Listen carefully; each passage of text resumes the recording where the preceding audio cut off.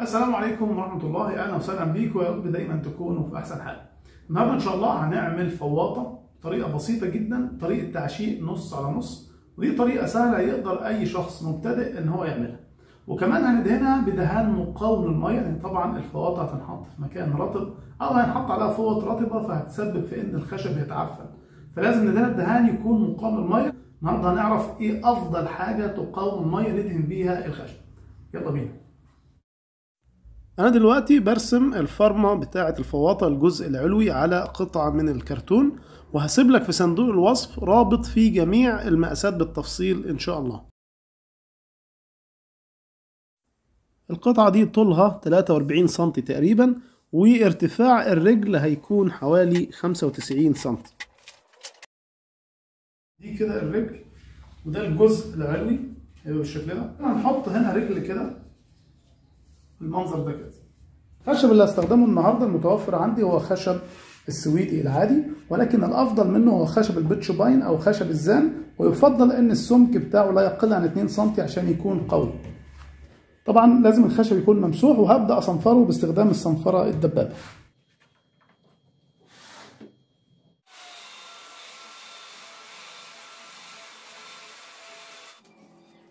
هبدأ أرسم الرجل باستخدام الفرمة الورق. هاخد البداية والنهاية هي طبعا مسلوبة.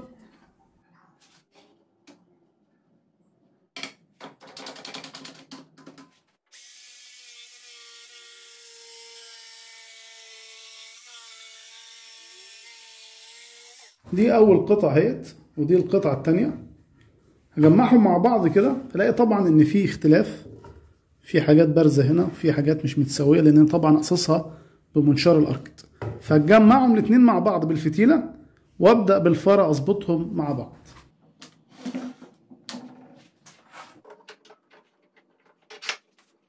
أبدأ أخدها بالفاره وأظبط القطعتين مع بعض.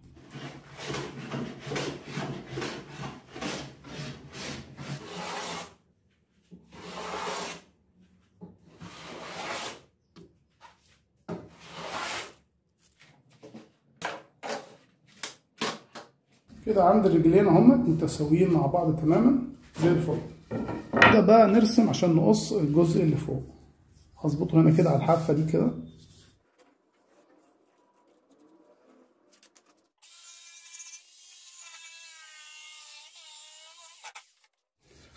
كده قصينا القطعتين هنثبتهم مع بعض. نبدأ نظبطهم الاتنين يكونوا قد بعض تماما.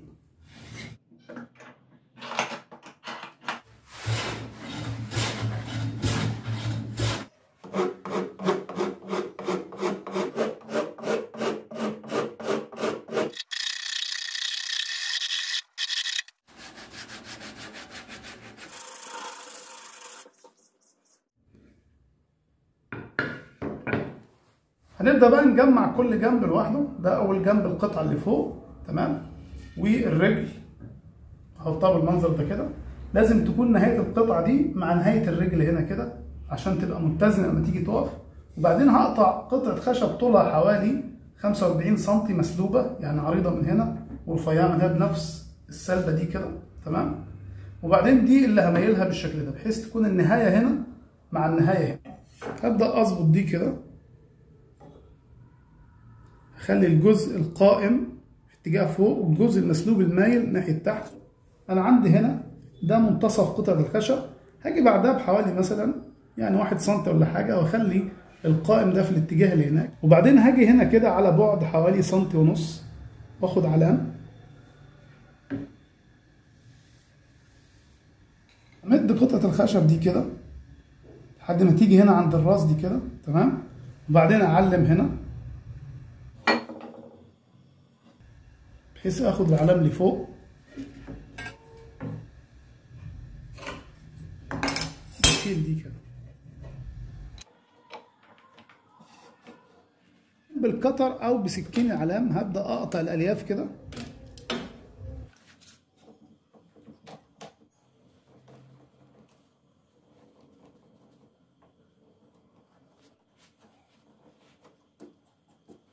أنا عملته ده هيسهل عليك إن أنت تنزل بالمنشار بشكل مظبوط.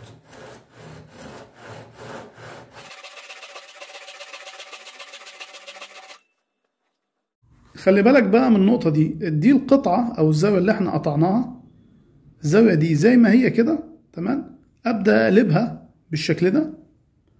بعدين أسحب قطعة الخشب لحد الطرف في النهاية وأبدأ أحذيها بالشكل ده.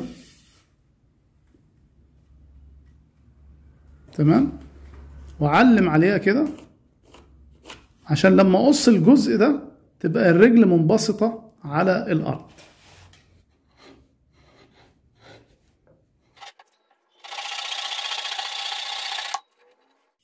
علشان نفهم أكتر لو حطينا الزاوية دي كده كده أنا ظابطها زاوية قايمة أهيت. تمام؟ ودي قطعة الخشب. اللي إحنا قصيناها فأصبحت قطعة الخشب دي مظبوطة على الخط اللي إحنا خدناه. تمام؟ وبعدين بقطعة الخشب دي إحنا علمنا هنا تحت فقصينا الجزء ده كده. لو جيت بقى استخدمت الزاوية القايمة المفروض تطلع منبسطة عليها تماما أهي عشان تبقى منبسطة على الأرض. هبدأ بقى أثبت قطعة الخشب كده بصباعي ويبقى قلم سنه رفيع زي ما إحنا شايفين. نبدأ نعلم. بعدين أجي هنا عند النهاية وأعلم على قطعة الخشب دي وفي الاتجاه التاني. بالشكل ده.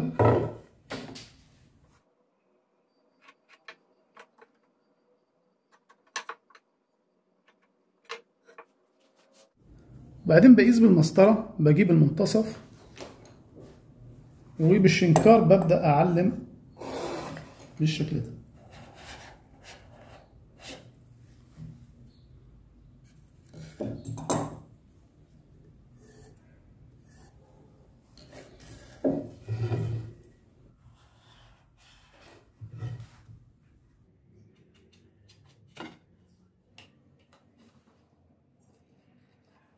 أبدأ أعلم على الجزء اللي هشيله. تمام؟ والجزء ده كده.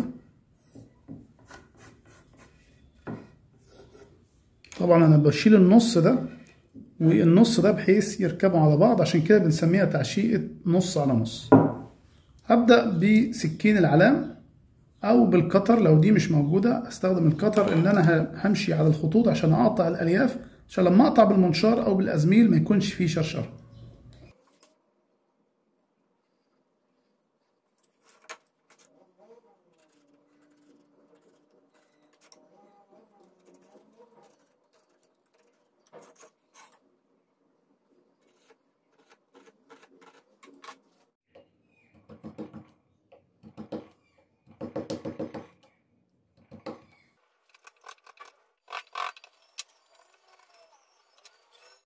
وبعدين نبدأ نوقف الأزميل الجزء العدل المستقيم ده خلي المشطوف للداخل والعدل في اتجاه الخارج بالمنظر ده كده.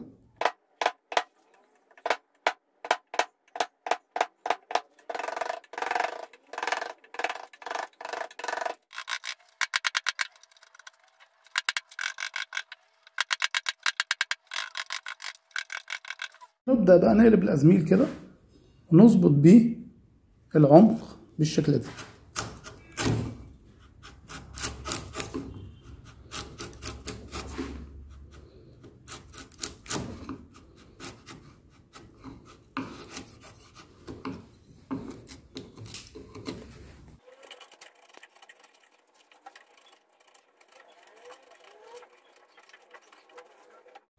كده إحنا حفرنا دي اهيت.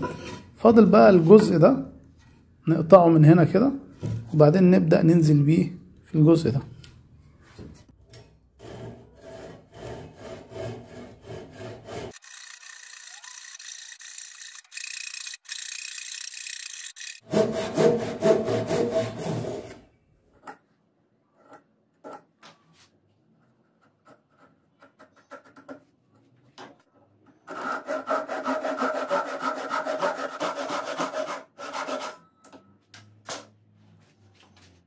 وطبعا ما انساش إن أنا أنقل نفس المقاسات اللي على القطعة دي أنقلها على القطعة التانية. أظبطهم الاتنين مع بعض كده.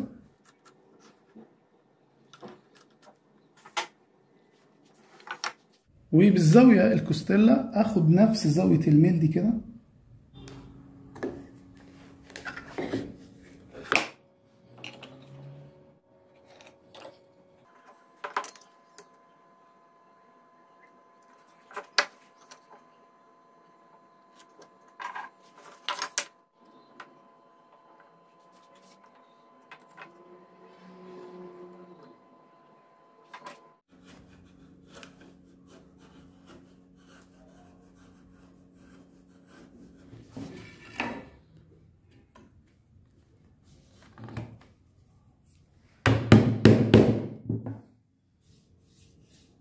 نبدأ نجمع الشغل. هستخدم غرا شفاف مقاوم للمية ده غرا فيفيكول وهسيب لكم الرابط وتليفون الموزع في صندوق الوصف.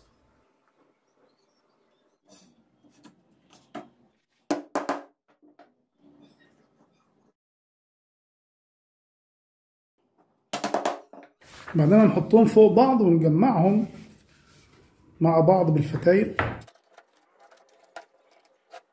كده جمعناها بالفتايل وهنسيبها بقى لحد ما تجف. هنبدأ بقى نركب الرجل الجانبية. فأول حاجة بجيب الفواطة هنا على حدود الطاولة. تمام؟ هنا كده. وبعدين بتأكد إن الزاوية قايمة زي ما أنا ظبطتها قبل كده. الزاوية قايمة أهيت. تمام؟ وبعدين بحط الرجل كده. طبعا الرجل الجانبية دي وظيفتها إن الفواطة ما تقعش فلازم الحدود بتاعتها تكون نهايتها مع نهاية الجزء ده. بقيس بالمتر كده نفس القياس ده اخده هنا كده. وفي نفس الوقت لازم أتأكد إن هي زاوية قايمة. بعد كده أبدأ أثبت الرجل دي كده.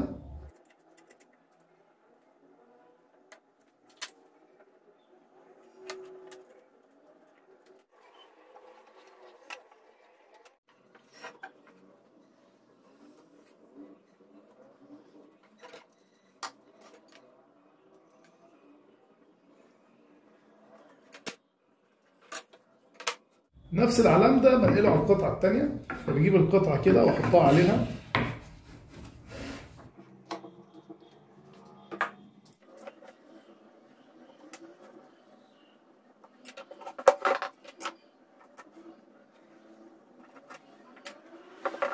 بعدين الزوايا دي بنقلها على الخشبة التانية بالكوستيلا. ثبت دي كده. واظبط.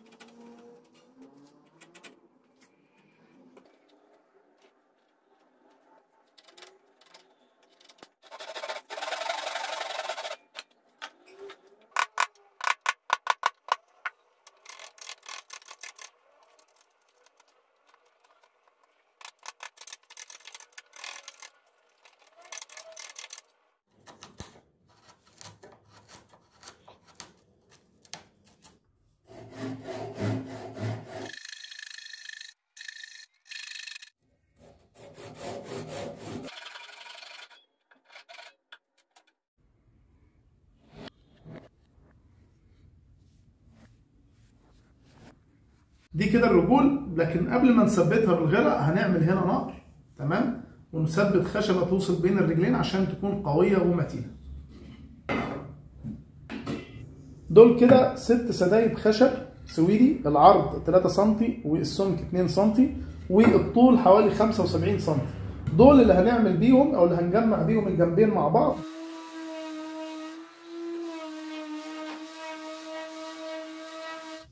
هنحلي الخشب باستخدام الريشة دي كده.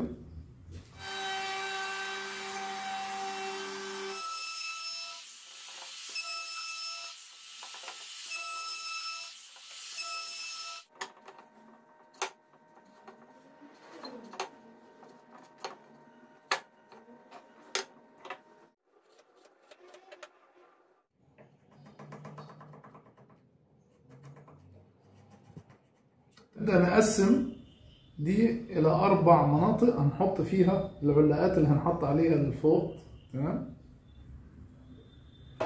فعلى بعد حوالي سنتي هبدأ أشد خط. وبعدين هبدأ أقسم هنا أربع مناطق.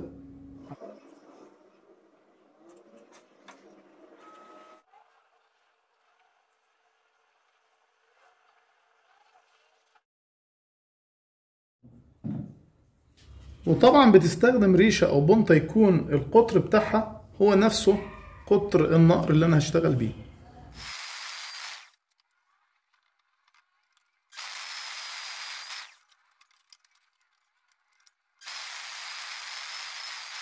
نبدأ بعد كده بقى نشيل الزيادات دي بالأزميل.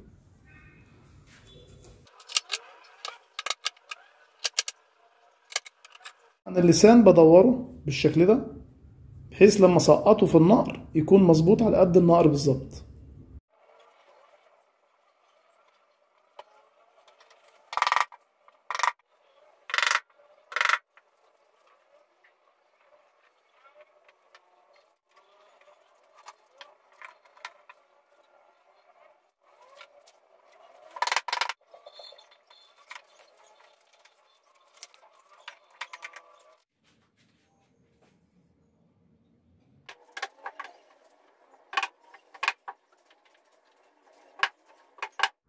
هنسيبها كده على الفتايل لحد ما تجف وبعدين نبدأ نكمل عملية الدهان.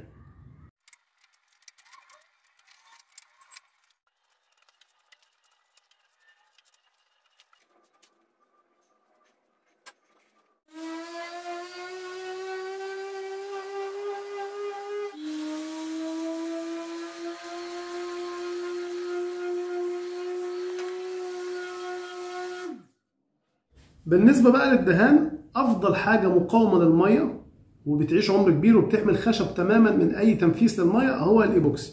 الإيبوكسي ده هو النوع اللي هنستخدمه ده نوع ألماني وهسيب لك الرابط بتاعه في صندوق الوصف. بنقلبه بالنسبة اللي مكتوبة على العبوة بنسبة 4A إلى 1B وبعدين هندهن بيه الخشب زي ما نشوف مع بعض وجهين.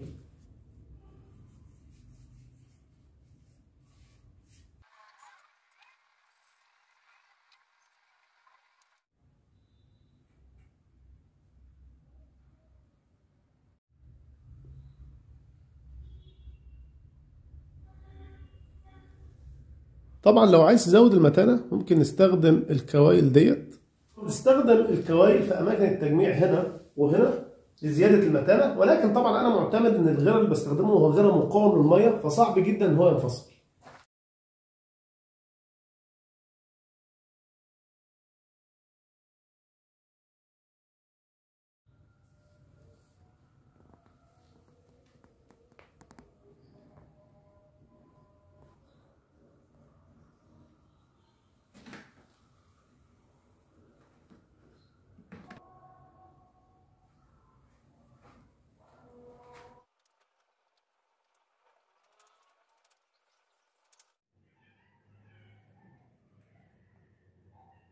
سامحونا الفيديو كان طويل شوية ولكن حبيت أنا أقابل لك جميع الخطوات بالتفصيل وإن شاء الله يكون في استفادة وهسيب لك إن شاء الله في صندوق الوصف قائمة كاملة عن تعشيق الخشب ممكن تفيدك إن شاء الله في أعمالك الخشبية. دعواتكم لنا بالتوفيق اللهم اجزيه خيرا في الدنيا والآخرة والسلام عليكم ورحمة الله.